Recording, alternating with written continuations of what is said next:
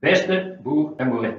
Mijn naam is Jan Beekmans, accountmanager Voergroep Zuid. En naast mij zit Dirk Briels, specialist planvee bij Voergroep Zuid.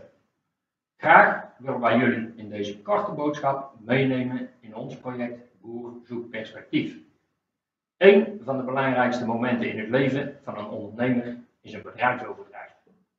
Jarenlang bouw je aan jouw onderneming en neem je de nodige risico's.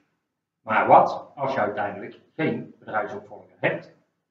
Of je studeert en wilt graag een agrarische onderneming starten, maar je komt niet zomaar in aanmerking om een bedrijf over te nemen. Stof om over na te denken. Als Voergroep Zuid denken wij graag met je mee als het gaat om jouw toekomst. Daarom organiseren wij in samenwerking met verschillende partners een inspirerende bijeenkomst voor jong en oud met oog op de toekomst.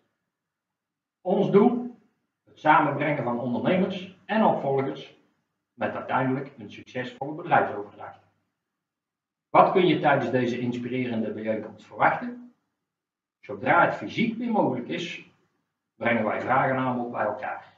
Enerzijds jij als doorgewinterde ondernemer en anderzijds een nieuwe generatie ondernemers die klaarstaat om het eigen bedrijf te starten of over te nemen. Daarnaast nodigen we specialisten uit die informeren en adviseren over juridische, fiscale en financiële aspecten die komen kijken bij een bedrijfsoverdracht. Kortom, een platform waar je de eerste onderlinge contacten kunt leggen en meer kennis op kunt doen. Wie zijn deze specialisten eigenlijk, Jan? Specialisten Dirk is van Gulik, notaris bij Gerrits en van Gulik, Marcel de Gooi, taxateur bij DLV, Joris van Gompel, fiscalist bij JFJ, Patrick Jansen, financieel adviseur bij Accon AVM en als ervaringsdeskundige en pluimveehouder Peter van der Heijden.